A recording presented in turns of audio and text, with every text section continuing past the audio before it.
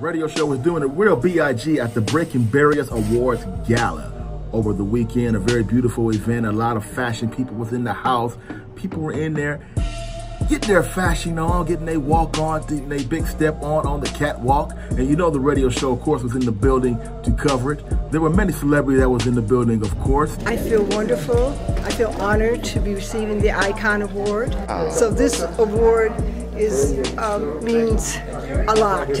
Wow. Okay. To be receiving it at the 45th anniversary of that historic American Vogue covering. Hey family, my name is Adela Lamar on 102.3 KJLH. Oh, big shout out to the radio show. When you gonna have me on? hope Here's not. a shout out to the radio show. If you want the radio show to cover your event, all you gotta do is inbox us. And there's only one show that's representing at all the events throughout the Los Angeles area and beyond. It's the radio show.